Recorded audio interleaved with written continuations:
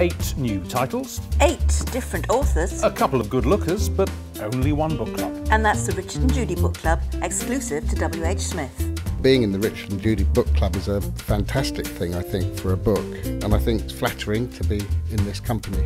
Being in the book club is going to help people find my book more easily amongst all the other wonderful books that are being published all the time. When you consider the literally hundreds and hundreds of books that they go through, it's really kind of beating the odds. It's winning the lottery to get chosen by Richard and Judy. It feels amazing, and I'm so excited about seeing my books in W.H. Smith's all around the country. My first ever novel, Starter for 10, was in the first ever Richard and Judy book club. So I feel like a kind of grizzled veteran now, but I'm equally delighted. It's something that is an institution in the UK.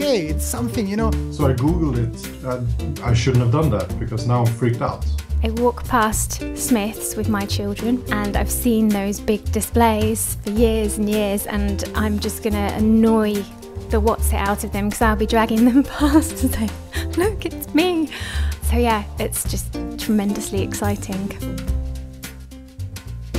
Right, let's not hang around. I cannot wait to get going with this season's books. And first on the pile is Us by David Nicholls. Judy, why don't you explain why we had to include this in the summer collection? Well, I mean, it's yet another wonderful book from David Nicholls. Um, it's the story of a married couple who's uh, one of them, the husband, thinks their marriage is going just great. He adores his wife and all the rest of it.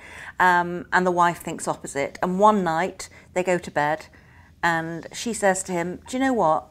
I think it's about time we called it a day. And he is completely and utterly gobsmacked and horrified. And the story is about how he tries to save this marriage. And he tries to save it by this anally organised grand European tour with their son, who reminds me very much of Lupin in the Pooter Diaries, you know.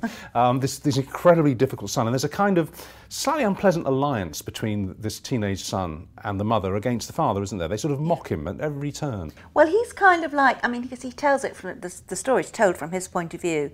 And he is terribly modest and he sees that himself as being incredibly ordinary, uh, boring, as you say, slightly anal, slightly obsessive. What does he say? He says he kind of, you know, he whenever he sees a kitchen countertop, he feels he's got to wipe it down wipe with it down, bleach. yes.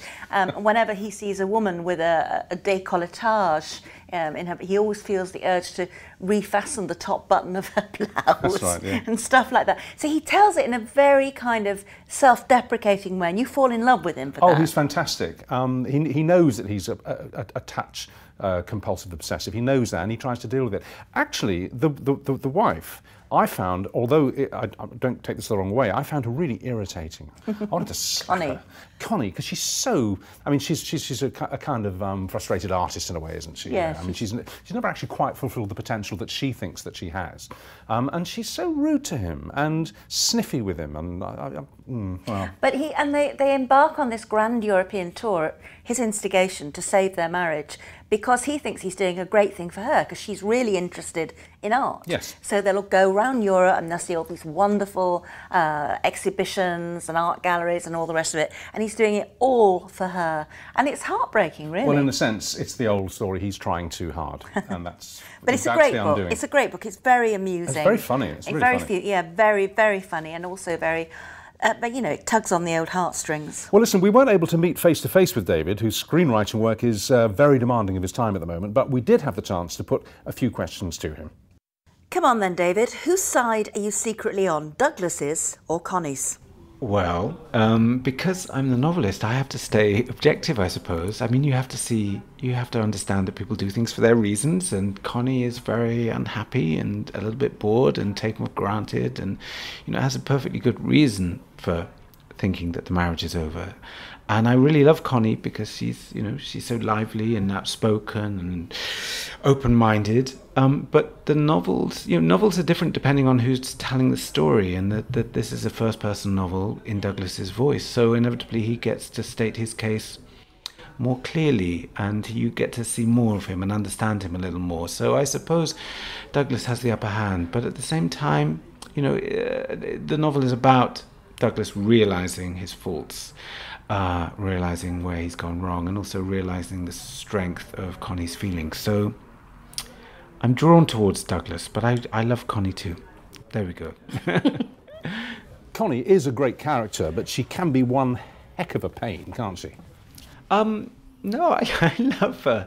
I mean, she's very glamorous and she's very funny, and she's she's sort of smarter than Douglas, a bit shrewder, a bit more kind of aware of what's going on, and sometimes she's, you know, the last novel I wrote one day had this character in called Emma Morley. He was so um, righteous. You know, she was so uh, moral, and you know, she could be a bit self-righteous at times, but she was always sort of the voice of reason and the voice of decency. And I thought, I don't want to write another, you know, sort of female paragon of virtue. I want to write someone who's a bit messier and a bit more irresponsible, and who's sometimes a bit cruel and a bit thoughtless. And and that's Connie really.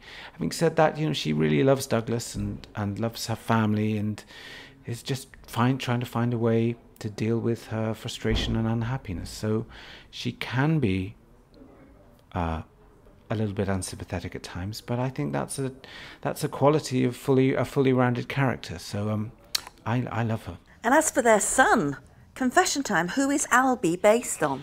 Not my son. my son is very young, and great fun, and uh, he's along way from being a teenager. Uh, so I'm in this sort of golden haze at the moment. But but I was a, a, teenager myself. I wasn't nearly as outrageous as Albie. I wasn't nearly as sort of sulky and moody and pretentious. But you know, I had my moments, and I think it's a natural part of um, it's a natural tendency we have to want to create our own image separate from our parents and reject what our parents stand for. And when you're a teenager, that can feel like that can feel rather heroic and brave and bold. And then when you're a parent yourself, you realise that actually it's a bit irritating, and a bit rude and a bit a bit um, callous and cold. And and so I thought it would be interesting to tell a story of someone growing into uh, an adolescent, establishing establishing themselves, but tell it from their parents' point of view. It would be great to know how things work out with the lovely Freya Christensen assuming that that is uh, not the plot of your next one, can you just, just give us a thumbnail portrait of how she and Douglas get on eventually? You know, just to wrap things up, as it were. Go on, you know you want to. I can't do that.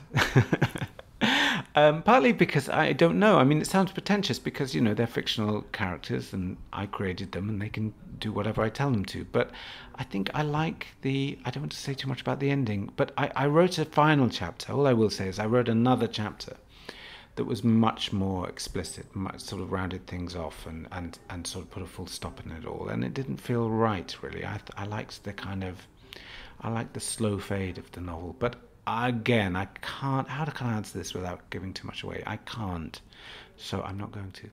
Now, obviously, you're no stranger to script writing because film-wise, you've not only penned uh, movie scripts of your own novels, Starter for Ten, which of course was in the Richard and Judy Book Club, and One Day, but you've also tackled Shakespeare and Thomas Hardy.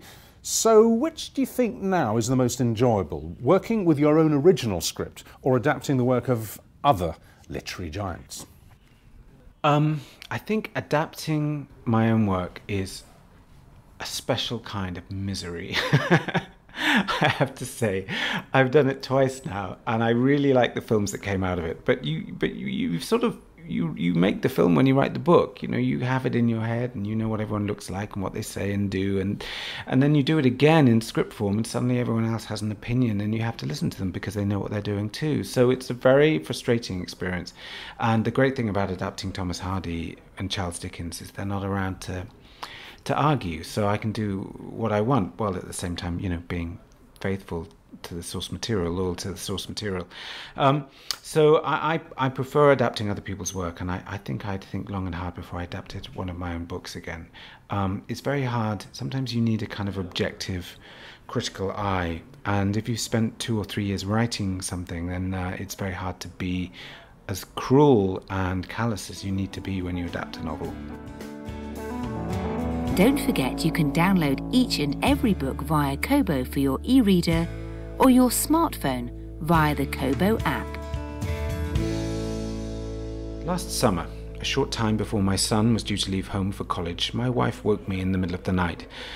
At first, I thought she was shaking me because of burglars. Since moving to the country, my wife had developed a tendency to jerk awake at every creak and groan and rustle. I tried to reassure her. It's the radiators, I'd say. It's the joists contracting or expanding. It's foxes. Yes, Fox is taking the laptop, she'd say. Fox is taking the keys to the car, and we'd lie and listen some more. There was always the panic button by the side of our bed, but I could never imagine pressing it in case the alarm disturbed someone, say, a burglar, for instance. I am not a particularly courageous man, not physically imposing, but on this particular night I noted the time, a little after four, sighed, yawned, and went downstairs. I stepped over our useless dog, padded from room to room, checked windows and doors, then climbed the stairs once more. Everything's fine, I said. Probably just air in the water pipes. What are you talking about? said Connie, sitting up now. It's fine. No sign of burglars. I didn't say anything about burglars. I said I think our marriage has run its course. Douglas, I think I want to leave you. I sat for a moment on the edge of our bed. Well, at least it's not burglars, I said, though neither of us smiled, and we did not get back to sleep that night.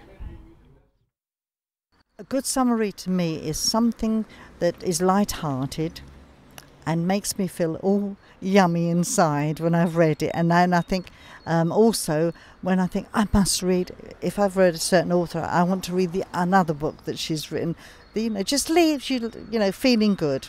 The book I was reading before Gone Girl was Beach Huts by Veronica Henry, and that's just a great book. Um, you can pick it up, put it down, and it's all the stories from all the different beach huts, and they all get their answers at the end, um, and it just gives you a warm glow and it's just a, a, lovely, lovely read. And um, yeah, it's not very taxing or anything like that.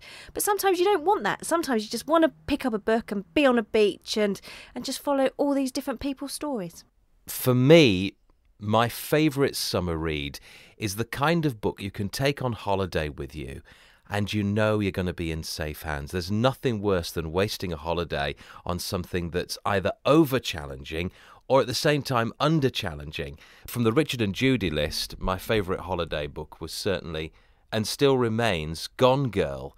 And I think the reason for that is that it's a book you just can't put down. And the frustrations of having a book like that when you're working every day is that you have to keep stopping. I'm delighted. It's actually my second time, so I feel doubly honoured. I was my first ever novel, to Starter for Ten, was was in the first ever Rich and Judy book club back in 2003, I think, and it was a massive break for me then, and a, for a first time novelist, a really terrific push. So I feel like a kind of grizzled veteran now, but I'm, but I'm equally delighted. You know, writing is such a solitary thing. You, you really don't know if, if you're achieving what you hope to achieve. You know, if the thing is making sense, if people are going to respond to it in the way you hope they will. And inevitably, the first few reads, the first few responses bring up things that never crossed your mind. And uh, I, I, pay a lot of attention to rewriting. I'm happy to change things depending on feedback, but that moment when it's published and it's too late to change anything is always a little nerve wracking. I have a little office I go to every day, and um, uh, I have to turn off the internet. That's the biggest challenge. The amount of work I do is directly proportional to the amount of time I spend off the internet. So that's my first thing when I get through the door. But I drink a lot of coffee and I try and write from nine till one, and then in the afternoon it's the it's the admin. You've just got to read and read and read, and not just read and read, but watch and watch and watch, and take in as many stories as you can. You know, from, from high literature to, to popular culture. You know, just keep absorbing the stuff. And I suppose more practically, I think it's a mistake to edit on screen. I think you get sort of slightly hypnotized by words on the screen. I think it's better to print things out and either rewrite by hand or, or either retype into the computer or or edit with a pencil on the page because words on the screen look so professional and neat and lovely. You sort of sit there and think, "Wow, this this is great." Um, whereas actually, if you're reading it on paper as a reader, you pay slightly more attention, I think. Well, I'm really looking forward to our next title and to meeting the man whose clever and creepy story is taking the literary world by storm. Books should be like life. There's a lot of things in it. A lot of joy, a lot of tears, a lot of everything. And he's not even 30 years old. Come back to meet Joel Dicker. Don't forget, if you buy these books from your local branch of WH Smith, you'll get a special edition with access to added bonus content.